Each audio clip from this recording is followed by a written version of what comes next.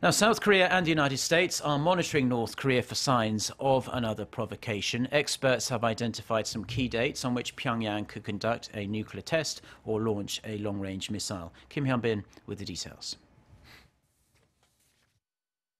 Experts have identified the month of December as a possible hotspot for further North Korean provocations, given the amount of key dates and anniversaries. December 17th marks the fifth year anniversary of the death of former leader Kim Jong il and the 30th is the fifth anniversary of Kim Jong un taking power. North Korean watchers say the regime could conduct another nuclear test or launch a long range missile on or around those dates. South Korea's defense ministry has been warning that Pyongyang is ready to conduct those kind of provocations at very short notice.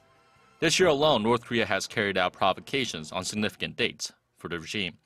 North Korea conducted its fourth nuclear test on January 6, just two days before Kim Jong un's birthday.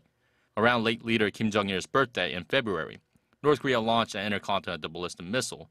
And then on September 9th, the 68th anniversary of the founding of North Korea, it conducted its fifth and most recent nuclear test. Some experts have flagged the U.S. presidential election set for November 8th as a trigger for North Korea to carry out another provocation.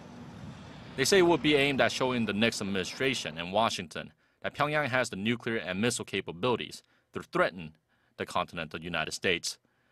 Kim Hyun-bin, Arirang News.